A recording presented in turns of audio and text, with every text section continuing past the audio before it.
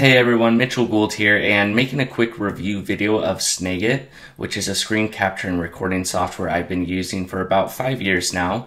And I really like it, so I thought I'd do a quick overview of it, show you an example and some of the features that I like, and then go into the pricing. So I'm on the homepage here and there's a lot of cool features within Snagit. Um, it has a lot of reviews. You can see here on G2, 4.7 out of 5 stars of almost um, four and a half thousand reviews. You can use it to scrolling capture, um, record. You have a library of the, the screenshots and recordings you take.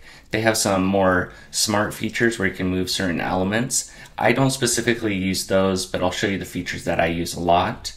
And then this is what it looks like to um, start a capture and adjust things.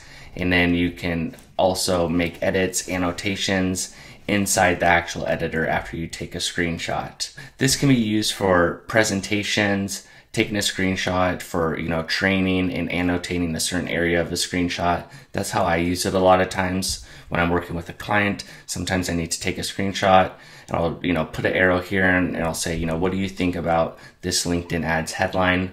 Um, I'm a LinkedIn ads and Google ads specialist. So that's primarily how I use it with my clients to help with annotate certain screenshots and help make a discussion easier by providing a visual aid. But again, it could be great for training purposes, really great for team collaboration. Uh, I'm gonna go into example here and show you some of the features that I like. So how I start a screenshot is I will uh, do a shortcut on my keyboard. So I do um, command print screen and you can see here it pulls up the, the screenshot tool that I already have set up. So I'll take a screenshot of this section here and then it pulls it into the editor. And then a lot of the common um, annotations that I use is like an arrow. So, you know, I'll go um, make an arrow to like this section. You can add text. You can do a call out. So maybe you want to call out a, a specific area and write that out here.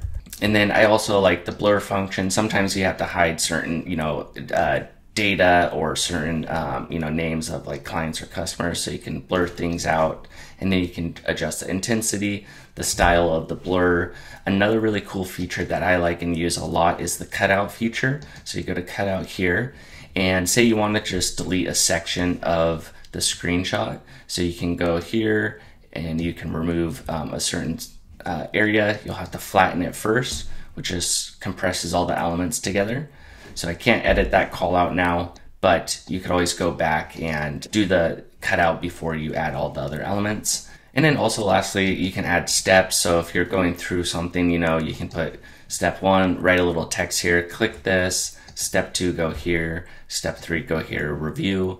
So um, that's how I primarily use it. Just those features alone, I use probably about 80% of the time. I mainly use it for just static screenshot images. You can do recordings and rolling screenshots of like a web browser too, but I primarily use it just for the static images. And then in terms of pricing, for an individual license subscription, it's $39 per year.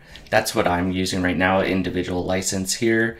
And then there's perpetual, individual, and small teams. Um, it says this comes with a transferable single user key for each user. And then there's the business version as well. So there's a 30 day money back guarantee. So you can always test it out and try and see what you think. And I will put the link in the description. It will be affiliate link because it's one of the products I use. So I'm going to promote it down there. If you have any questions about it, please put them in the comment section be happy to help you out there and um, discuss anything. If you have any specific questions before you want to buy it, um, put them in the comment section and I can take a look at it for you there and then let you know. Thanks for watching and have a great day.